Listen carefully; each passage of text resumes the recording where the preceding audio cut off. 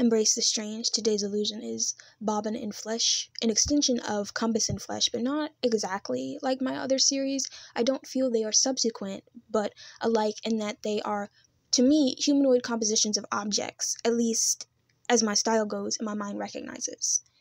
Embrace the strange.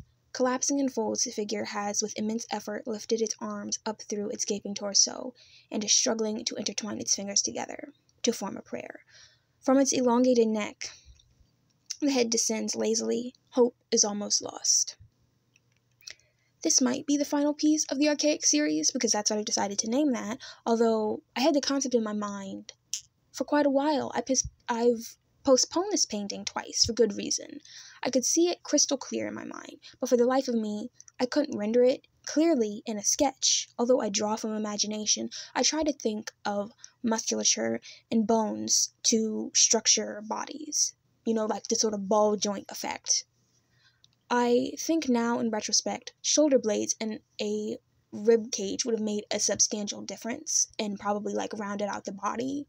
Although I do like the flat effect.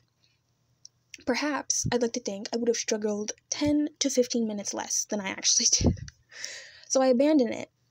Then I returned and I tried to tweak it on the canvas paper, so this is the third time. Charming. No, I wanted to quit. The process was painful. Paintful, I feel like, yes.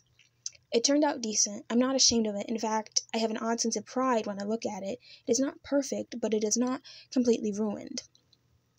I added a person to my pen pal list, the second man I thought of. This is my spin on the question who, dead or alive, would you have dinner with?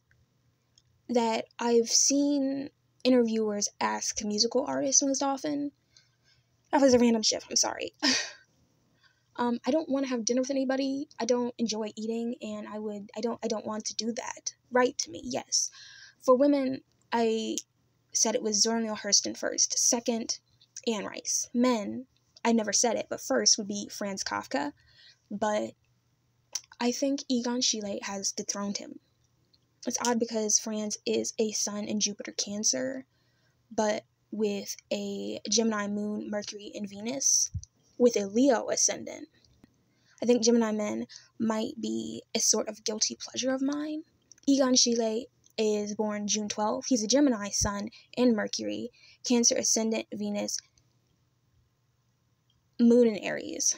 I couldn't resist Googling his natal chart that aside, I like his mind. His views on art are similar to my own and intriguing in their difference. The fragments included in the book on his letters really resonate with me, although his mom's letter eclipsed his slightly.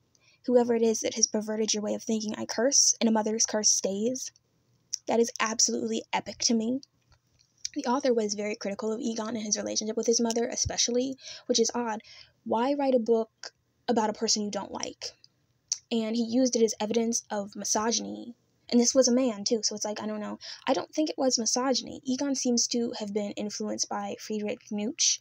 So when he wrote to his mother, he created himself. It wasn't a full slight to her womanhood. It was a renouncement of her and a denouncing of her cold influence on him or the lack there of it on him. He wasn't hurt. He was hurt. She didn't support him being an artist. She wanted him to be somebody he was not. That's what it seems like.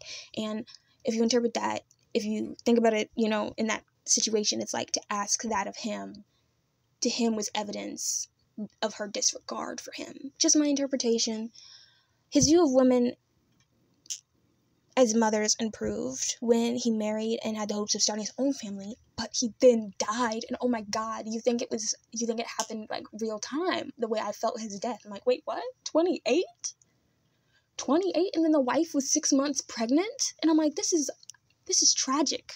This is absolutely tragic. And this author also called Egon Schiele's writing clumsy and unclear. It wasn't.